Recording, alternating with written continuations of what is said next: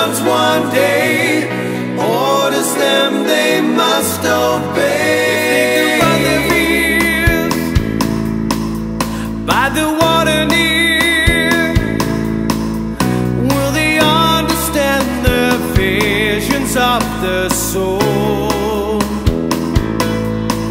Go on and reach your aim, so they can all